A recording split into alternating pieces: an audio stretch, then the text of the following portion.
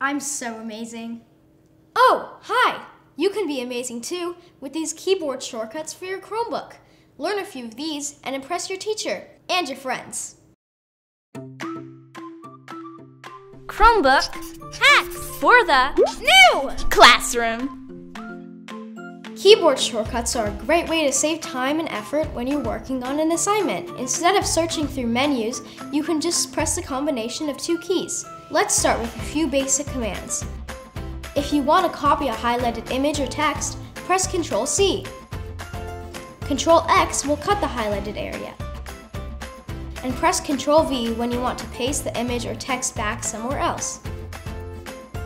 Let's say you made a mistake. It happens to all of us.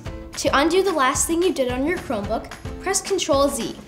If you want to undo more than that one action, press it again. Now I'm going to show you a secret superpower.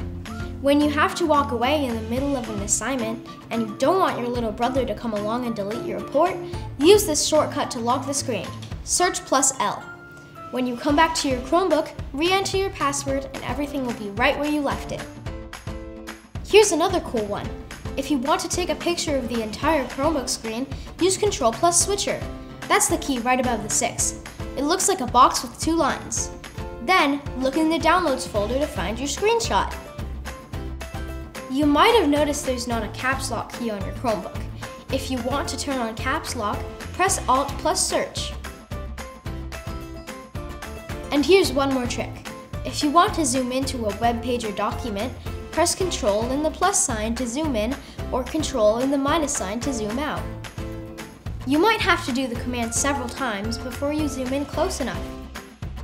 There, now you're ready to go out and seriously impress your teacher, your parents, and especially your friends with your awesome keyboard skills.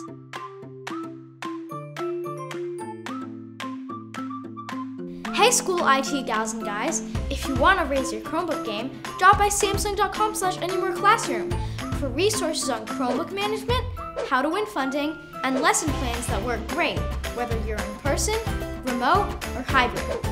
Wait a minute, don't go yet. I want to tell you about Samsung Solve for Tomorrow. It's a contest that challenges students in grades 6 through 12 from across the nation to show how STEM can improve their communities. Just by applying, your teacher will get free professional development opportunities, and schools win prizes as they advance in the contest. For more information, visit samsung.com slash solve for tomorrow. Okay, bye!